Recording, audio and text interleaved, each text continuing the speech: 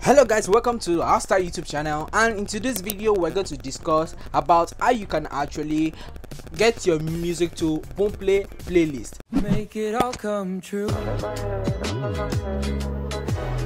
So so guys now in in order for you to get into the boomplay playlist what you what you have to do is that you have to have a song that are, uh, that has been already been uploaded on boomplay itself. So if you have a song that's already been uploaded in boomplay already then it will be easier for them to actually playlist your your music into their playlist.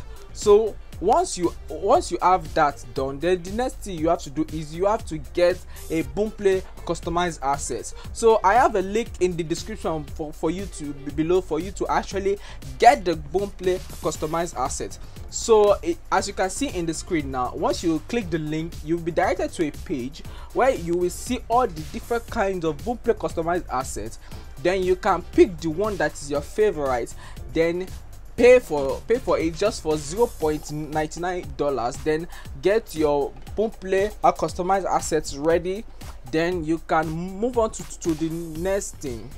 So i'll show you a sample of it right now on the screen as you'll be seeing. So once you have done that you can head over to adobe adobe or any editing app that you have in your phone. Then thereby you can actually you, you, you can actually edit that you can actually edit that um picture.